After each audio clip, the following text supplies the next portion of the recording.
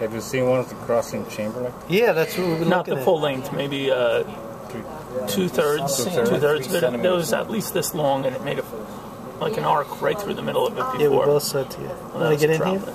I see more now. Yeah, I, I think it's much more active. Than I it think it, before. yeah, it's better than before. There's another one. See that one there? So on, yeah. Yeah.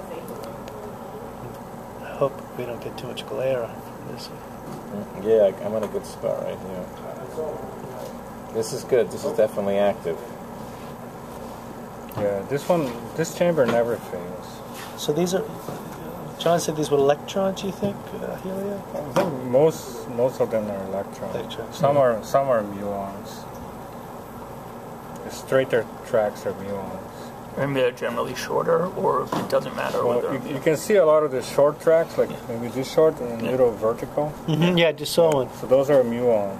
Oh, there's a big because one they're right not there. perpendicular to the like the magnetic So field. very very few muons will go that way. Right. Okay. And the magnetic field that you have here is is pointing that way. okay. Magnetic field is pointing Up.